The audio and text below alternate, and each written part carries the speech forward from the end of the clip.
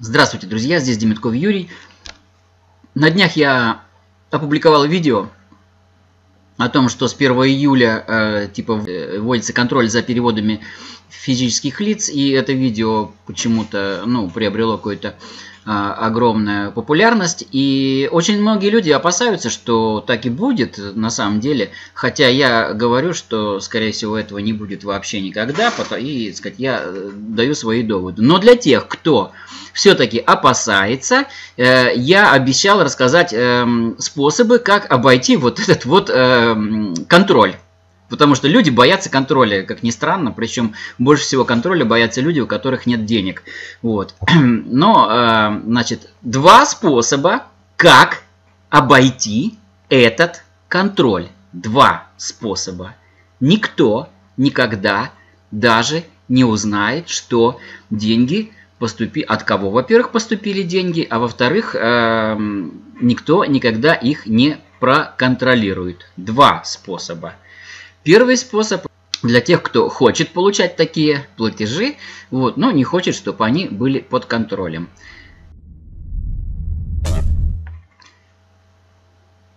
Заводите карту дебетовую Тинькофф Банк. Почему Тинькофф?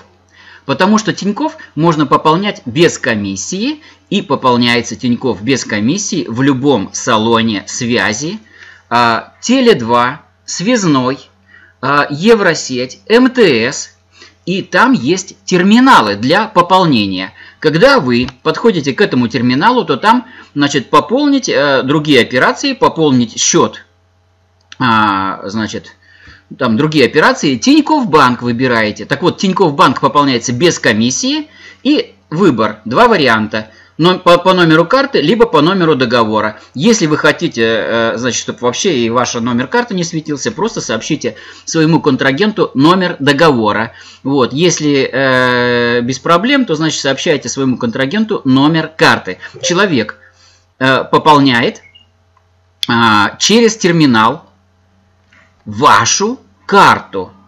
При этом Паспорт не предъявляется, ничего не предъявляется, никаких данных о том, кто пополнил, никуда не э, сообщается. Ни телефон не сообщается пополнителя, никого.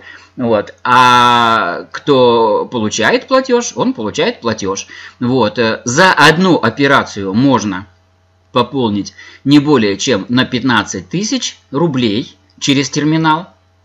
А, но через тот же терминал можно, так сказать, ну, два или три раза, если, так сказать, надо там 60 тысяч, пожалуйста, четыре раза через тот же терминал пополняете, и все, подряд. Буквально подряд.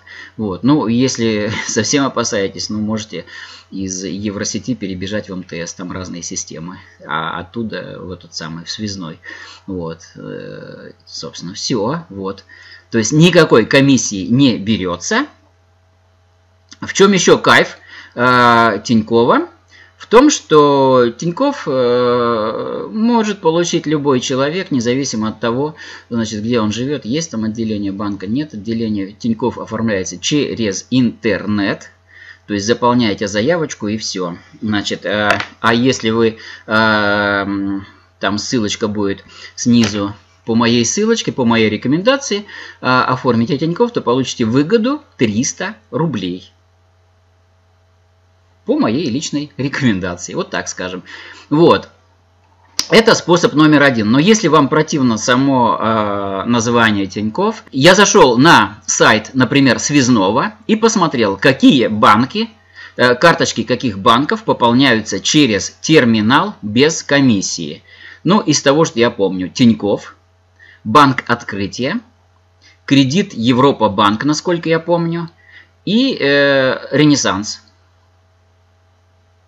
выполняются без комиссии. Остальные там комиссия 1%.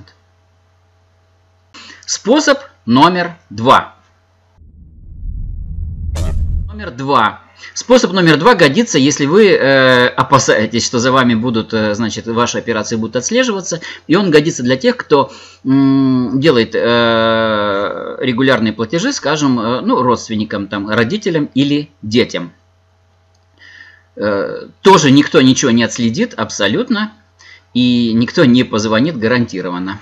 Каким образом? Смотрите, у вас есть карточка любого банка, любого, Сбербанк, э, ну, у меня э, в данном случае Бинбанк, вот, ну, там любой банк абсолютно не так важно. Вот, я сейчас объясню, почему у меня Бинбанк. Вот, берете, вот у меня Бинбанк, вот, а, берете, идете в банк и говорите, я хочу выпустить там дополнительную карту. На каждую карту можно выпустить до двух дополнительных карт. Вы можете на эту карту выпустить две дополнительные карты. И эти дополнительные карты, например, вы даете, значит, э, одной картой пользуетесь вы, второй картой, вторую карту вы отдаете э, своим родителям, либо детям.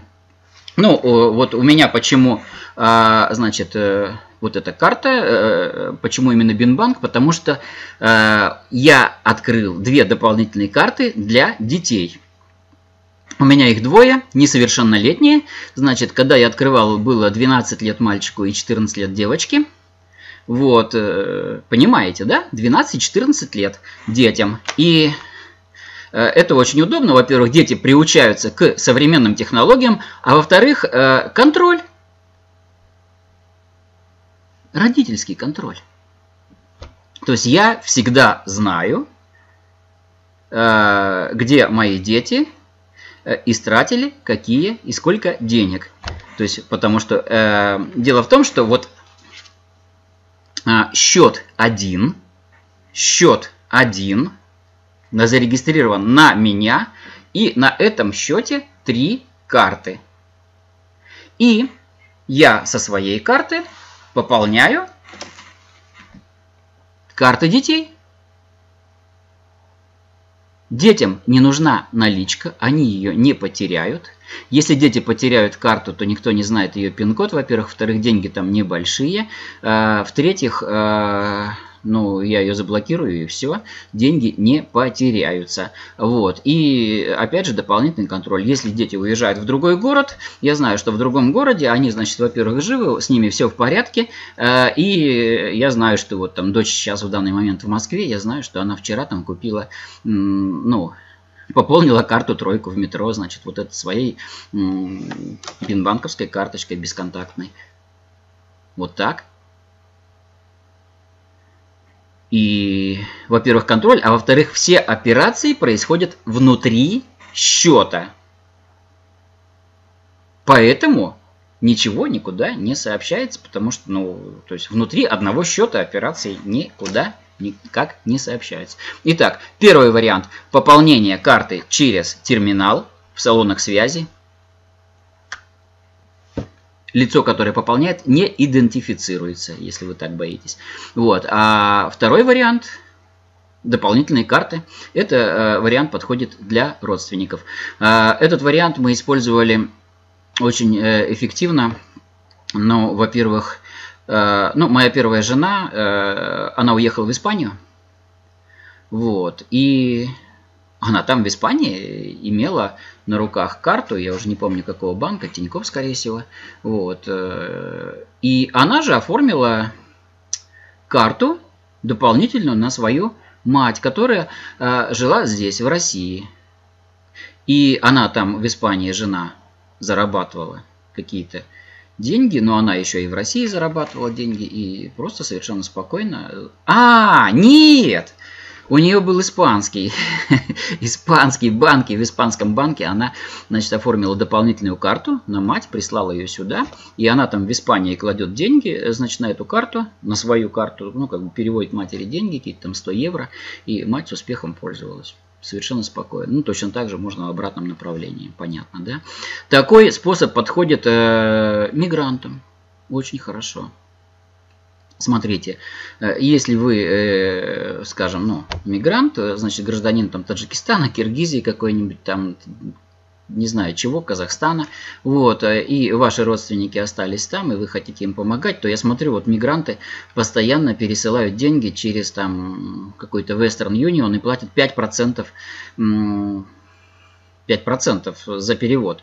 не надо этого делать, просто берете, оформляете карточку в Тинькофф банке, Иностранцам это, по-моему, позволительно открыть карточку в Тинькофф банке и к ней дополнительную карточку. Дополнительную карточку э, оставляете у себя там в Таджикистане своем, вот, и здесь просто переводите на ту карточку, а там ваша супруга пользуется этими деньгами э, в этих в местной валюте там какая, драхма там или что там, тенге, вот. Я просто не знаю, что в Таджикистане нет, я без этого, без всяких без ехидства. Вот. Я просто не знаю, какая валюта в Таджикистане. Вот. Э, знаю, что в Казахстане тенге, в Беларуси белорусский рубль. Э, точно так же можно в Украине пользоваться карточкой Тиньков без проблем, потому что ну, просто в магазине расплачиваетесь этой карточкой и все. То есть она конвертируется в валюте. Тоже совершенно спокойно работает способ. Итак, два способа, как обойти вот это вот ограничение, если вы опасаетесь, э, что оно коснется вас, хотя не коснется точно. Спасибо за внимание. С вами был Дебитков Юрий.